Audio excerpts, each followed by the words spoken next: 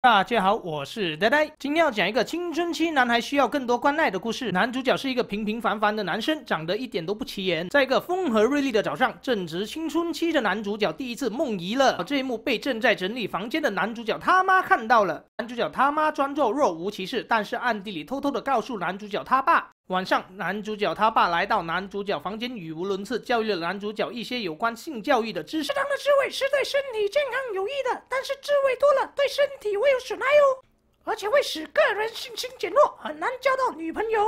男主角听了这番金玉良言后，觉得很无辜，人家只是梦遗啦，哪有滋味？但还是被男主角他爸这番话影响了。第二天早上，男主角立刻想找一起长大的青梅竹马婷婷表白。正当男主角想要表白时，一个高富帅前来搂着婷婷。原来婷婷已经有男朋友了。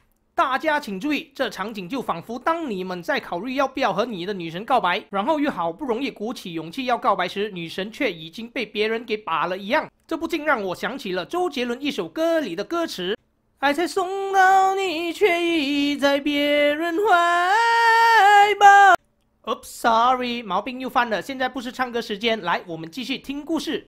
然后男主角很失落的回到家，想和家人诉苦，可是家人都不理会他。第二天，男主角放学回家上厕所时，遇到一位美丽小姐，吓得男主角滑倒在地上，龟头也掉了出来。不是他的龟头哦，是真正的乌龟啦。这位小姐是新来的女租客，真的他妈的很不公平啊！要是有那么漂亮的女租客，我免费也租给她啦。很快的，他们就成为了无所不谈的好朋友。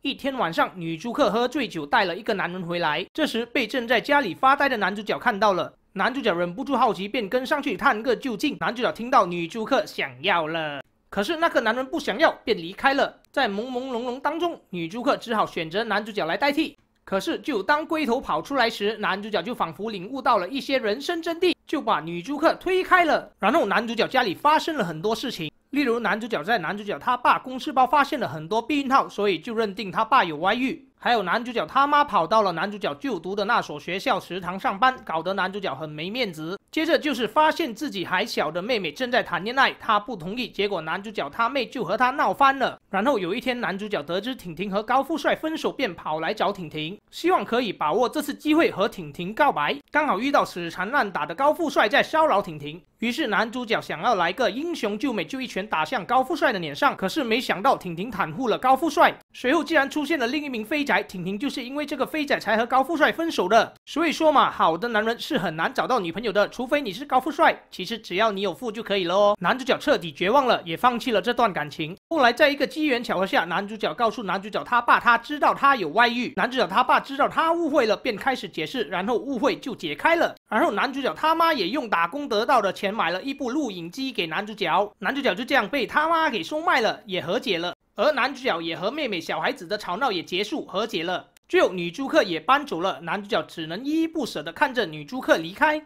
看着男主角的表情，我想他应该是想着当时为何没有上了他呀？女租客都趴在他身上了，男主角的手也摸到了胸部，怎么可以就这样推开呢？看完这个故事，得到的结论是，正值青春期的男孩是很需要被关爱的，就好像拥有无意精虫的呆呆一样，也需要关爱呀。拜拜。